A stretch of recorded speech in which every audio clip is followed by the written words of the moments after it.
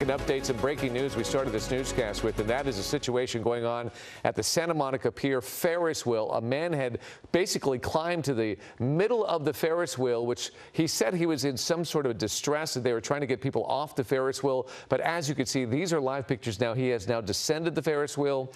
Police, Santa Monica police have been able to pull him off of it, so the situation is now over. Everybody is said to be safe. This is just happening as we speak, so the situation now over in Santa Monica. And as you can see, some folks are still on that Ferris wheel, but they will be able to get down safely now that the man has descended from the wheel. Hello, I'm Mark Brown. Get more great ABC7 content by clicking the subscribe button for our YouTube channel and download the ABC7 Los Angeles streaming app on Fire TV, Android TV, Apple TV, and Roku to watch on your TV.